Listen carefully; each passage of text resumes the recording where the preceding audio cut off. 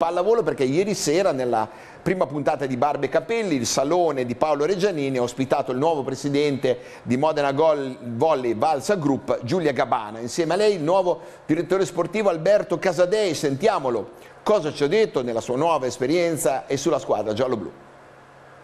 è un grande piacere essere no, eh, direttore sportivo di questa squadra, in realtà è un, un, sogno, miei, sono fortunato nella vita, posso dirlo, e, mm, quindi questo è un altro sogno della mia vita che si realizza.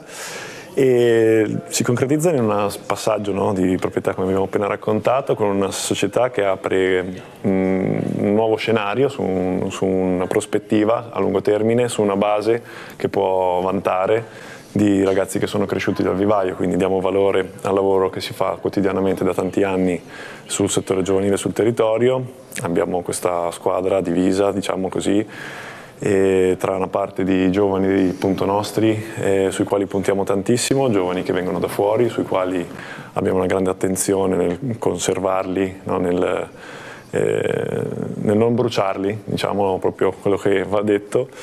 e eh, l'esperienza di quei giocatori che conoscono già l'ambiente,